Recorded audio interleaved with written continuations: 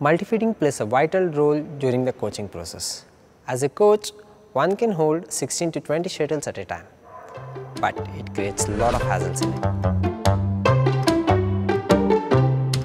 Shuttles falling down frequently and it takes a lot of time in taking a new set of shuttle in between the multi-feeding.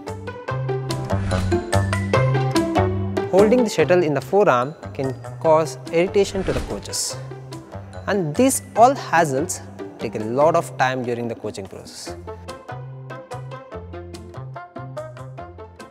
So we Vanquishers found a solution for this and named it as Feedie.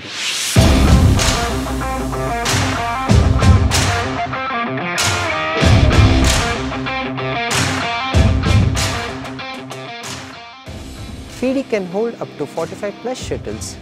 It's easy to assemble, easy to feed and load and it's completely weightless. It's as light that you can take that in your kit.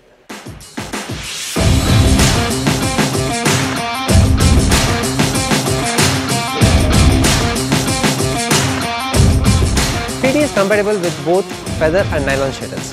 It is so hassle-free that all age categories can use this and it is even productive in during the training process and even it pushes the kids to increase their endurance.